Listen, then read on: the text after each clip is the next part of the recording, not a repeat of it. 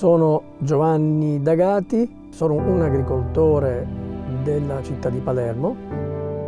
Sono il presidente del consorzio del mandarino tardivo di Ciaculli.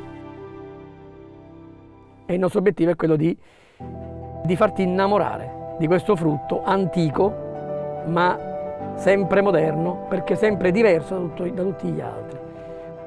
Il profumo del, degli oli essenziali è unico al mondo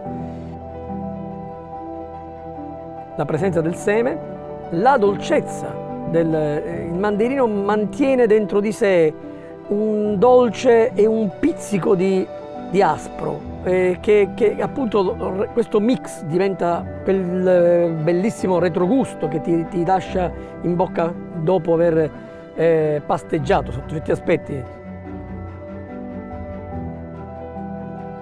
Tutto questo insieme del sole abbondante, delle acque buone, del terreno diciamo, ricco di, di, di, di humus anche, eh, della vicinanza al mare, quindi dell'influenza del, del, mare, eh, questo di qua porta a, ad avere questo, questo, questo prodotto. Rispettare la natura significa rispettare quello che lei mi dà.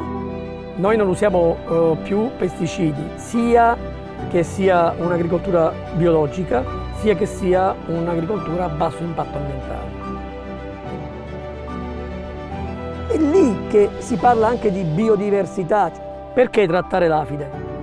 Basta che arrivino le coccinelle che si mangiano 200 afide al giorno, ognuna. Che è importante che quando si va a raccogliere il frutto, il frutto deve garantire determinati parametri che sono la quantità di zuccheri, la quantità di, di, di, di succo. Io credo che il miglior consiglio che si possa dare a dei giovani abbi la perseveranza e il coraggio e la speranza è quella ci siano tanti dopo di noi che continuino ad amare questa terra.